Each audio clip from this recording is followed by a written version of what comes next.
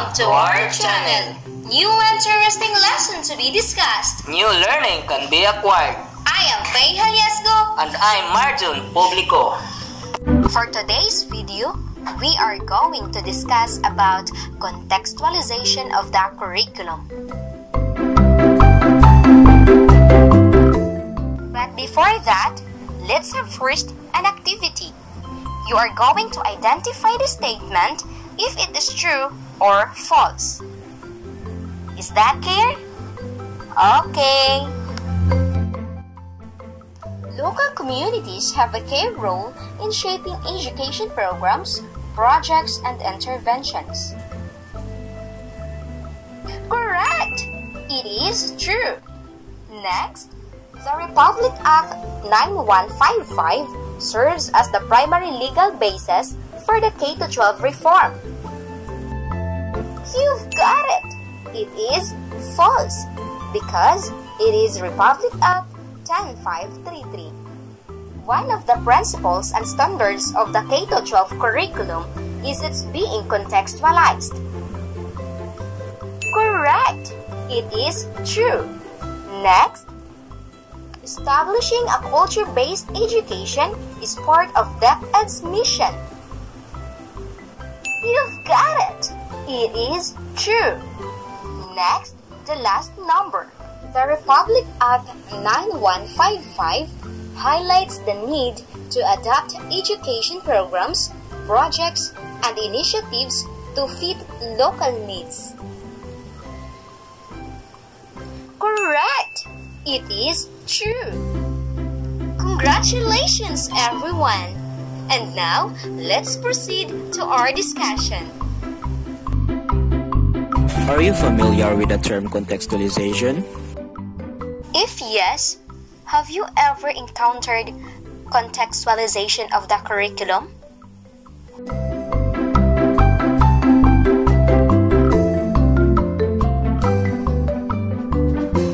What is contextualization? Throughout the decades, there are many different definitions of contextualization of teaching and learning, referring to the curriculum in this education system. But all of the definitions are perhaps the same. It only differs on the current curriculum which the education implemented. According to Kalchik in Oertle 2010, Mazzeo expanded the definition of conceptualization of teaching and learning as diverse family of instructional strategies designed to more seamlessly link the learning of foundational skills and academic or occupational content by focusing teaching and learning squarely on concrete applications in a specific context that is of interest to the student. Contextualization of teaching and learning as it is currently implemented is an umbrella term that refers to two different forms of instruction contextualized instruction and integrated instruction.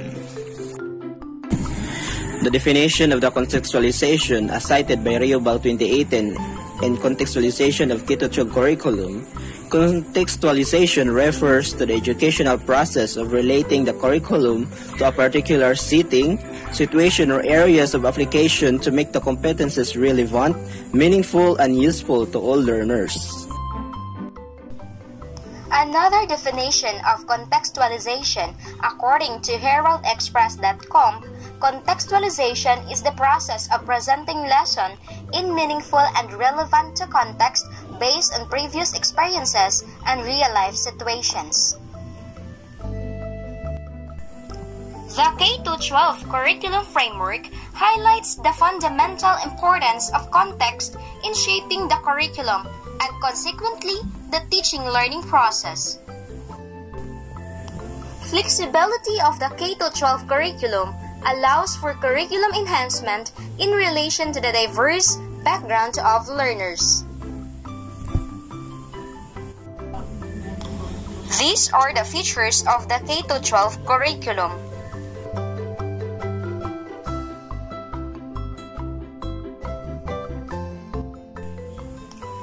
There are two degrees or levels of doing contextualization. These are localization and indigenization. The first is localization. Localization refers the process of relating learning content specified in the curriculum to local information and materials in the learner's community. Second is indigenization. It refers to the process of enhancing curriculum competencies, education resources, and teaching learning processes in relation to the community context. Remember this concept. When we localize, we do not necessarily indigenize, but when we indigenize, we localize.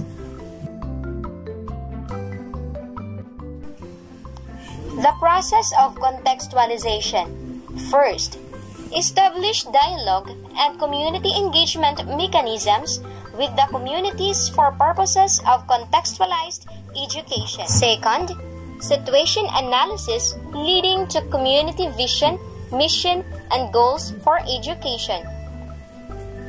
Third, education planning with communities, including learning resources.